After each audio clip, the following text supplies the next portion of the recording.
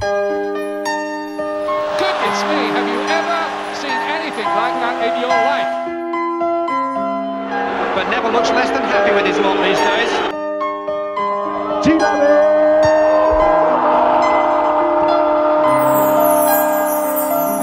A lot's changed in football since the 90s.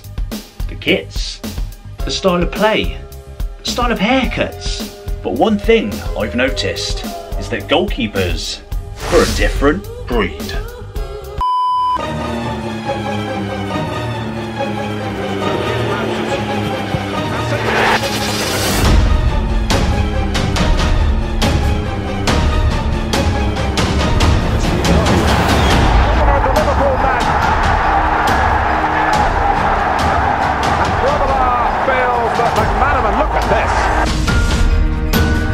They look like the sort of bloke you'd avoid eye contact with in the pub. Absolutely nuts. Look at some of today's Premier League goalies. They're fresh faced, fresh out of school, the modern day, technically gifted sweeper keeper. Now look at these absolute maniacs from the 90s. They look like they could be the dads to today's keepers. Just take a look at Neville Southall right here.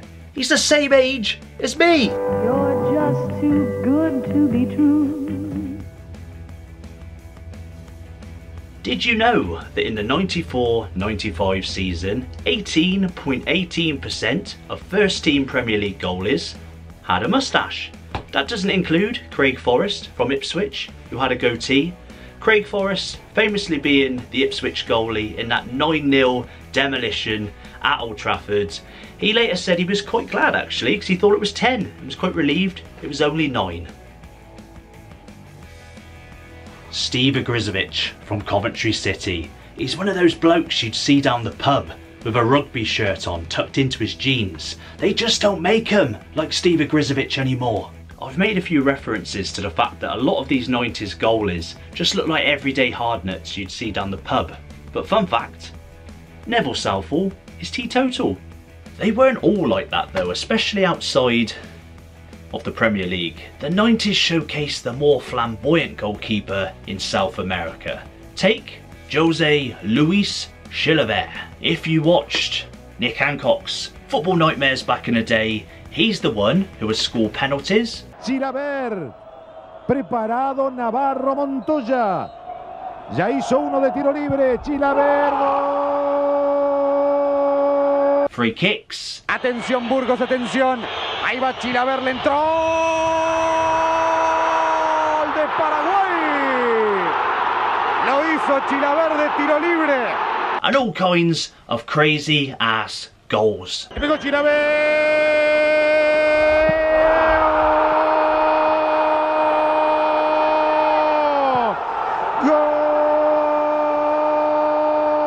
Did you know that in his professional career he scored a whopping 67 goals, with 8 of those goals coming in international duty for Paraguay? Back to the Premier League for a moment, and did you know the Great Dane Peter Schmeichel scored 11 goals in his professional career? One of those for Denmark, and this one right here for Man United. Schmeichel. He's claimed the goal. When I say 90s goalkeepers were a different breed, this man right here is a prime example. Okay, he might not have had the moustache. He kind of had quite childlike blonde hair, but don't let those long, blonde, flowing locks fool you. We all know what a beast Schmeichel was. Probably most famously known for just shouting at his Man United defence.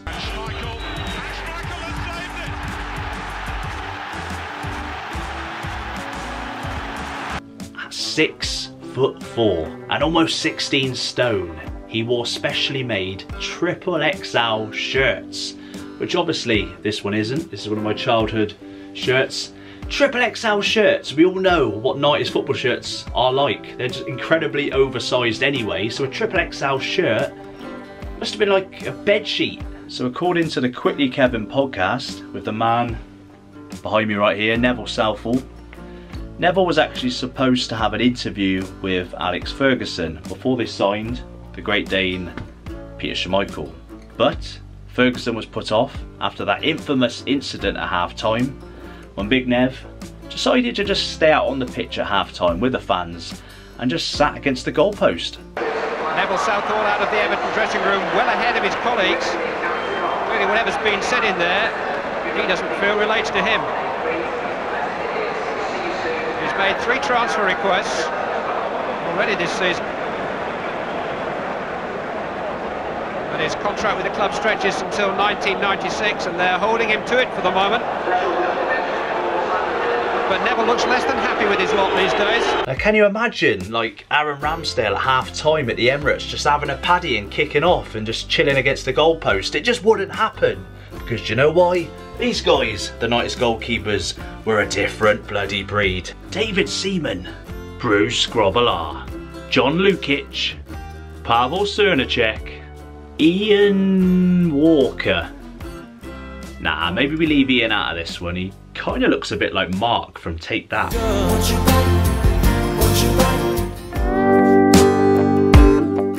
Not all goalies had to look like your dad though, some were just uniquely nuts in their own way. Like David Calamity James. Cole will challenge James. Oh, David James, another catastrophe.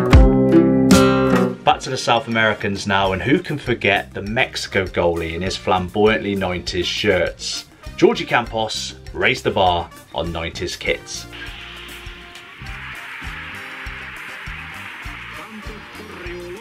If you're a fan of 90s football kits, by the way, hit that subscribe button as we've got loads of football videos coming your way on 90s kits. And also, whilst you're there, just drop us a comment below. What was your favourite 90s goalkeeper kit? Maybe it was that crazy David Seaman England away refresher kit.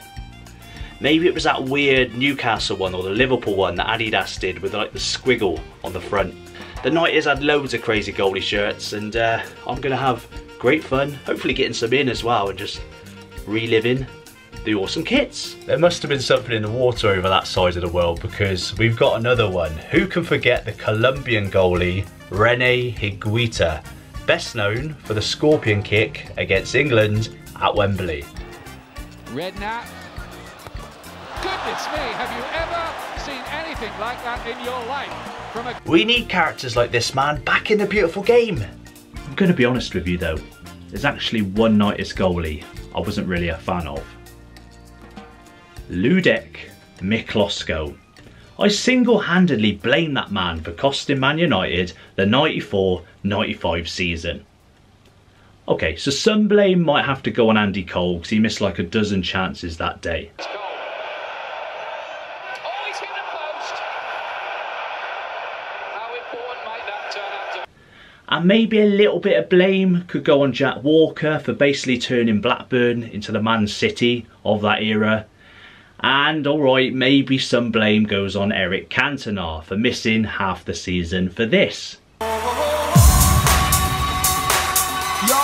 Ludek definitely was a big game player. He raised his game when the Sky Sports cameras came on. Towards Lee Sharpe. Oh, great save by Miklosko. Otherwise, United would have had the goal they so desperately need.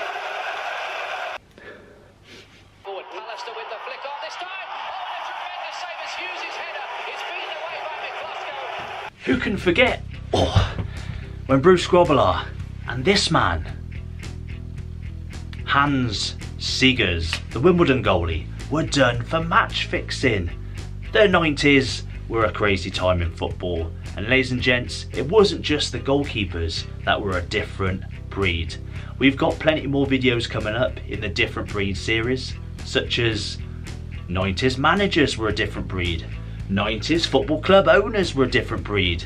Ladies and gents, drop us a comment below what sort of videos do you want to see next. I'm really enjoying this era of nostalgia. You know, what what's to say that we can't just bypass the 90s and treat it like a forgotten time? No, I'm stuck in the bloody 90s and I'm going nowhere because ladies and gents, we're uploading at least one new full-length feature video every Sunday along with numerous shorter videos. I think the cool kids call them reels, shorts, whatever you want to call them throughout the week. It's going to be fun. I hope you've enjoyed the video. If you did, do me a favour, tell YouTube it was a good video. stick that thumbs up. And before we go guys, drop us a comment below. What was your favourite 90s goalkeeper? And don't forget to follow us on Instagram and TikTok at Roy90s Nostalgia. And I will see you next Sunday. Oh yes.